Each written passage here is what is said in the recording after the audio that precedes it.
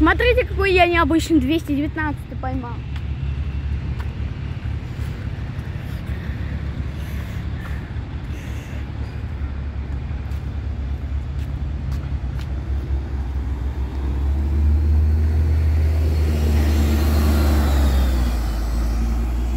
Ну все.